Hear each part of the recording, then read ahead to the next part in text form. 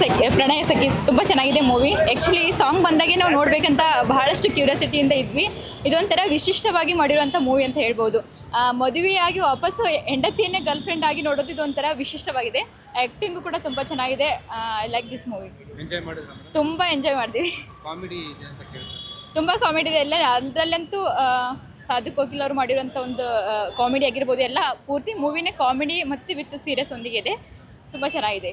ತುಂಬ ಎಂಜಾಯ್ ಮಾಡಿದ್ವಿ ಸರ್ ಯಾ ತುಂಬ ಚೆನ್ನಾಗಿದೆ ಅದರಲ್ಲಿ. ಒಂಥರ ನ್ಯಾಚುರಲ್ ಆಗಿ ಮತ್ತೆ ಎಲ್ಲರಿಗೂ ಇಷ್ಟ ಆಗುವಂಥ ಒಂದು ಆ್ಯಕ್ಟಿಂಗ್ ಅಂತ ಹೇಳ್ಬೋದು ಅದು. ತುಂಬ ಇದನ್ನು ಜಾಸ್ತಿ ಪ್ರೇಮಿಗಳು ನೋಡ್ಬೋದು.